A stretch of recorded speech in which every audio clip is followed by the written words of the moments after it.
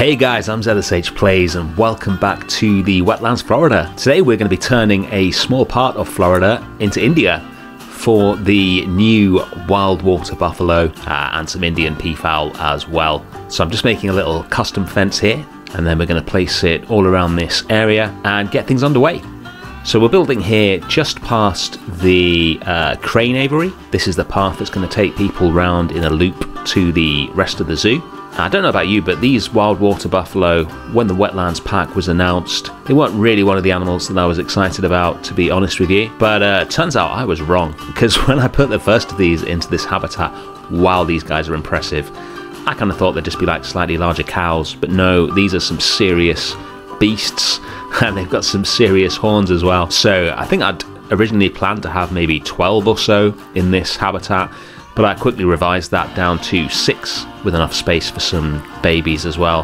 But yeah, I really like these guys. I was tempted to start a whole Indian area, but this is the wetland zoo and I didn't want to go too crazy or sort of lose sight of what uh, this zoo is supposed to be all about. So um, in the end, I decided to just have one habitat for these wild water buffalo, add some peafowl as well. But we are going to go pretty heavy on the theming with this. I want to get a real Indian vibe going on in this habitat. I'm going to concentrate on scenery and it's going to have its own entrance, just really set that Indian vibe for the guests when they get to this part of the zoo. So, the part of India that we're going to be going for is the state of Assam, which is where most of the remaining wild water buffalo live. They are very rare these days, unfortunately. I'm lucky enough to actually have been to India. Uh, it's an amazing place. Chaotic beauty is how I would describe it. I'd highly recommend it. But I've never been to Assam. I've been to Mumbai and Goa.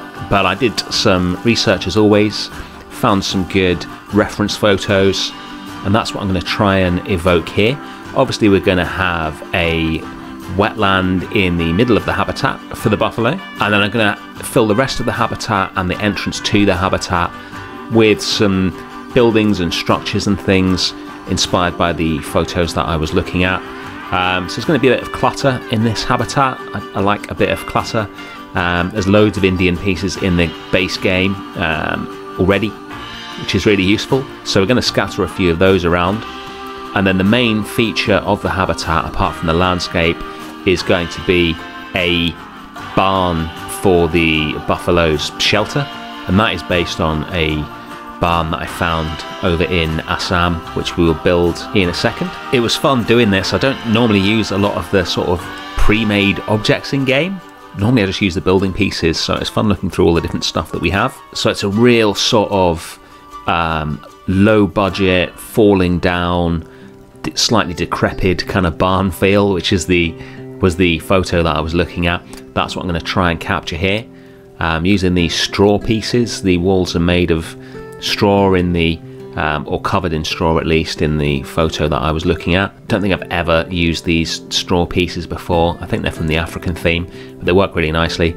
I really want this habitat to look run down and lived in and not like super cheesy zoo theming. Just try and make it feel uh, like a, a field over in India rather than a super landscaped zoo enclosure, I guess.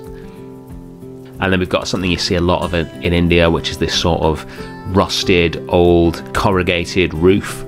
Um, and it had a double roof, this barn, which I really liked, which I thought would make it interesting. It shouldn't look uh, expensive or you know, like some amazing design or anything like that. It should look like the sort of rundown, cheap barn that you would find in the countryside uh, in that part of India. And I just love this double roof. I couldn't work out what purpose it served. Um, I don't know if there's supposed to be anything up there, but it just looked unusual and cool while still being really sort of cheap and utilitarian, not like it had been sort of specially designed. There's two areas a completely enclosed area where presumably they would spend the night, and then uh, an open area where their food uh, would be kept. Now, let's talk about plans for the rest of the wetlands. So, I have listened to your feedback, and you guys are absolutely right. We cannot build a zoo here in the Everglades without alligators. They weren't in my original plan, but but I completely agree. They've got to be here. So what's going to come up next is after this habitat, there's going to be a habitat for the Nile Lechwe, uh, which I've got a really cool idea for. I'm not going to say what it is right now, but I've got a really cool idea for that habitat to incorporate a restaurant, and we'll get onto that soon. And then the big walkthrough habitat for the spectacled caiman that I spoke about, that is going to become a walkthrough for the American alligator. And then we're going to have a separate habitat for the spectacled caiman. And then, of course, a habitat for the platypus, which I'm really looking forward to building, and the flamingo lake. So probably the Nile Lechwe next, but we'll uh, we'll see what happens. Back to this build, um, we're going to put a load of custom wood pieces all around it to try and make it look uh, structurally sound. Like a lot of these old barns, it should look like it's sort of falling down, but at the same time, it's probably been there for decades and it's still fine, so it probably isn't actually falling down. That's the sort of uh, vibe that I'm going for. And then on the inside, I'm using some feeders uh, from a workshop pack by Leader.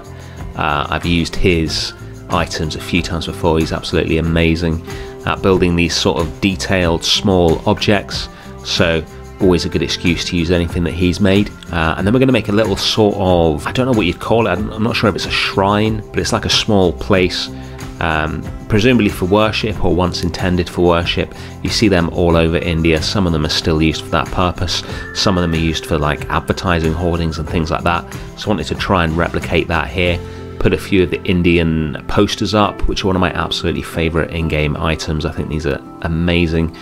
Back when I first started playing Planet Zoo, these went absolutely everywhere because I didn't know how to build anything and these were one of the in-game pieces that just instantly makes everything look good. Um, but it's been a long time since I've used them so I enjoyed putting them back in there. I'm just going to put a few more pieces on and get this looking the way I want it.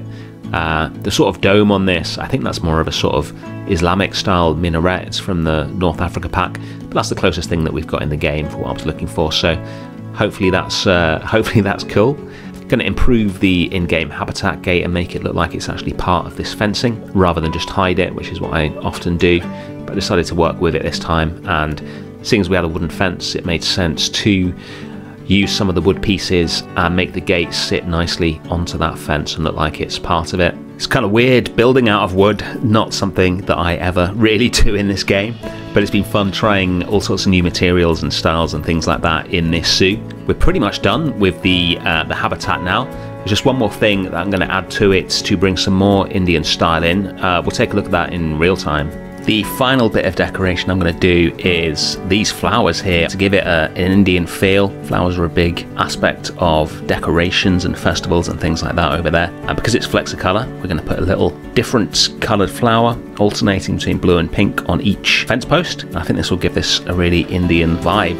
Now it's on to the other part of the build, which is to build an entrance for this little habitat.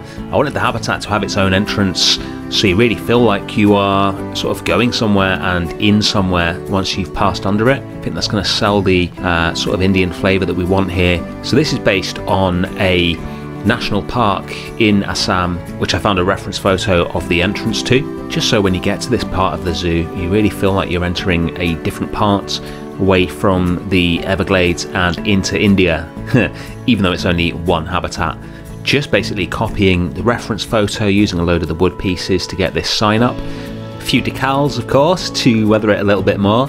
I think these are the only decals I used in the entire build, if I recall correctly, which is pretty amazing by uh, my current standards. Put some more wood around the sign. I'm going to shrink it a bit as well. It was a little bit big when I uh, when I first built it, and then I'm going to get loads of vegetation in, make it nice and green and lush and welcoming. And then on either side, we're going to have these little brick pods. They actually had statues of rhinos in in the national park that I'm copying this from. Um, but I'm not going to have any rhinos in this zoo, so I didn't want to put those in. So I'm going to have a load of bamboo and some other flowers in here and use them sort of like flower beds. I really, really like these new, uh, well, they're not new anymore, I guess, but from the Europe pack, these cobblestone wall pieces. Um, the fact that they're recolorable just makes them so versatile.